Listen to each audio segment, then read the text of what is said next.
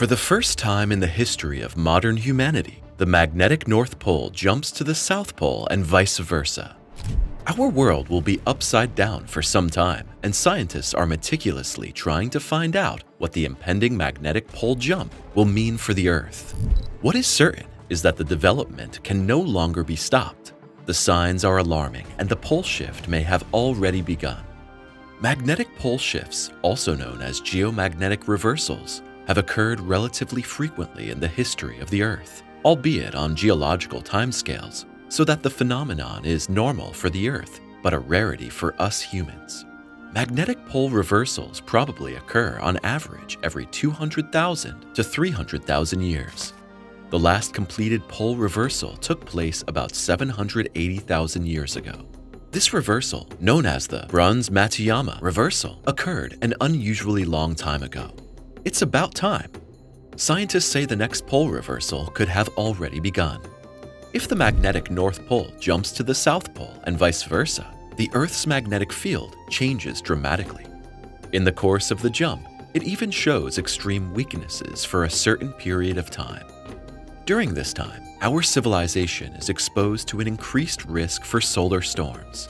Normally, the magnetic field reliably intercepts the particle streams from the sun but when it weakens, more charged solar particles can penetrate into the deep layers of the Earth's atmosphere and possibly cause damage.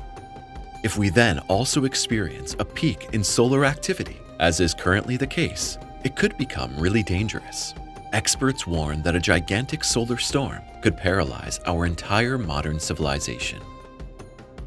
Duration of a pole shift 1,000 to 10,000 years. It sounds eerie and fascinating at the same time. A pole shift means a complete magnetic reversal of our planet. North becomes south and vice versa. We humans have never consciously experienced this process, and we do not know what a pole shift will be like.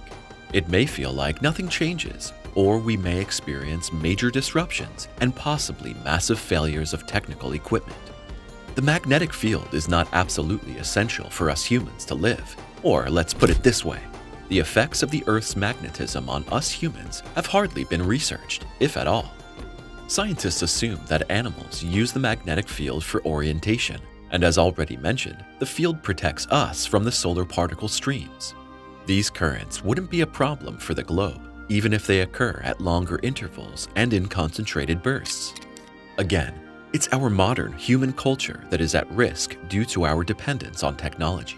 Animals and the planet itself can usually withstand such changes very well. A pole shift is probably not a sudden process. It may take place over 1,000 to 10,000 years.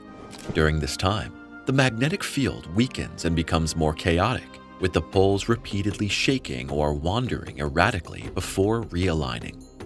Pole jumps occur as a result of changes in the flow patterns of the liquid metal in the outer core.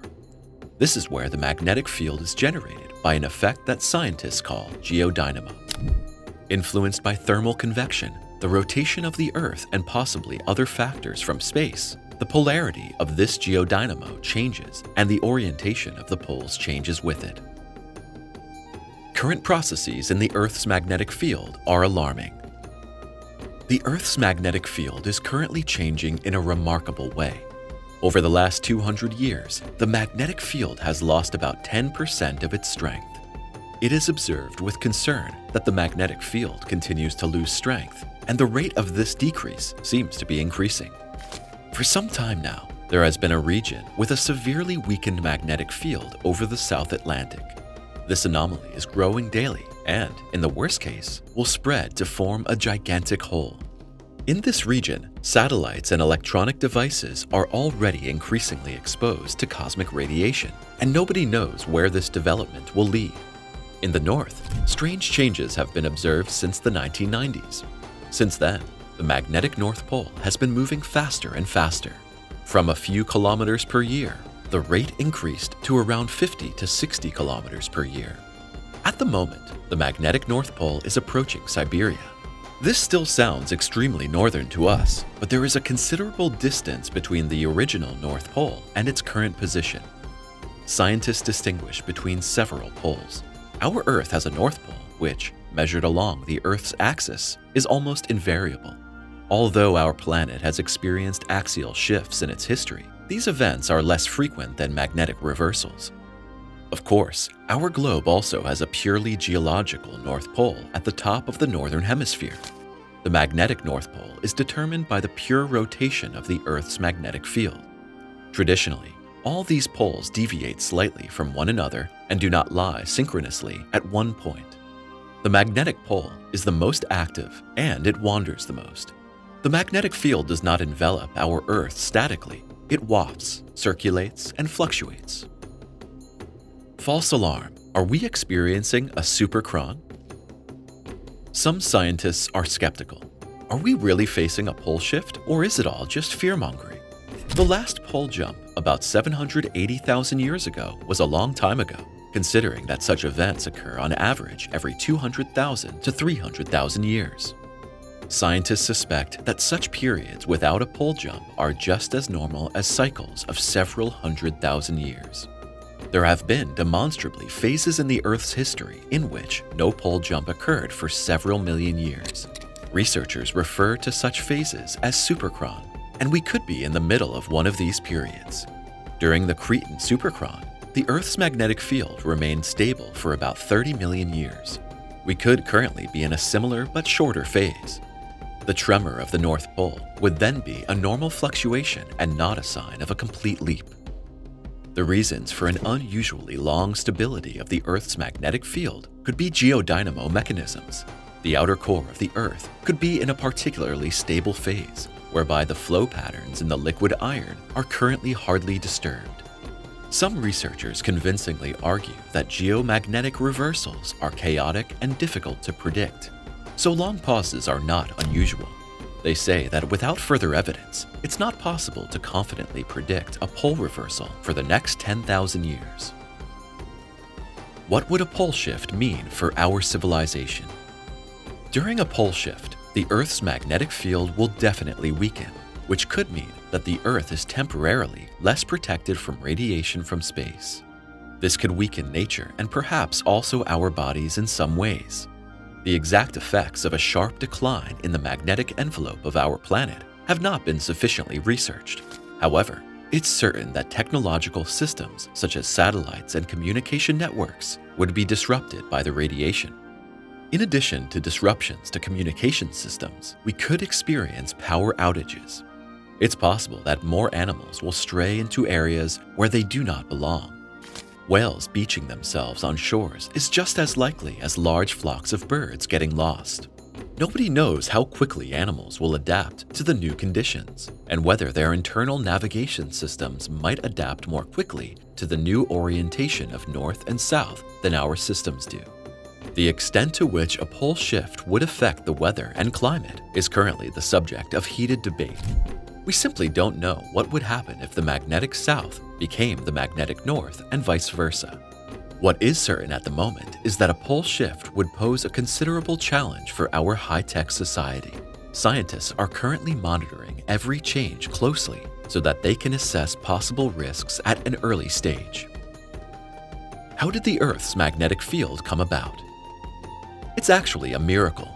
The Earth's magnetic field enables our planet to have an atmosphere and thus allows us to live. Planets without a magnetic field, such as Mars, lose their atmosphere if they ever had one. The geodynamo inside our planet is therefore a real stroke of luck. Inside the Earth, the rotation causes electrically conductive liquid metal to be shaken back and forth, creating magnetic forces. The Earth's core consists of a solid, metallic inner core and a liquid outer core. Iron and nickel in the Earth's outer core are melted by extreme heat from the inner core. A type of convection current causes the liquid metal to circulate, similar to boiling water. The liquid iron is conductive and its movement generates electrical currents. These currents, in turn, generate a magnetic field. The Earth's rotation forces these convection currents into spiral patterns. Scientists know this effect as the Coriolis force. Once generated, the magnetic field amplifies the movements in the liquid metal, creating a stable cycle that maintains the geodynamo. The result is a global magnetic field surrounding the Earth like a giant bar magnet. forming magnetic north and south poles.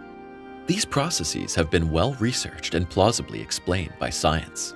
Despite this rationality, our magnetic field is a scientific miracle. It seems perfectly orchestrated, and without it, our world would not be what it is. The magnetosphere protects the Earth from the solar wind.